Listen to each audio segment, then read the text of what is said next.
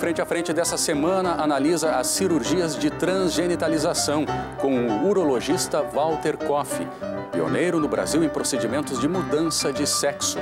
Frente a Frente, nesta terça, 10 da noite.